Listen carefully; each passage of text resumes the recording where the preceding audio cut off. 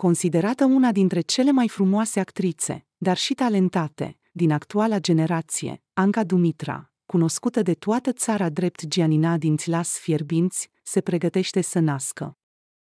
După ce a anunțat în luna aprilie că este însărcinată, acum despre Anca Dumitra s-a aflat că ar urma să nască în luna august sau în luna septembrie, astfel că și-a schimbat deja programul de muncă și chiar a renunțat la spectacole.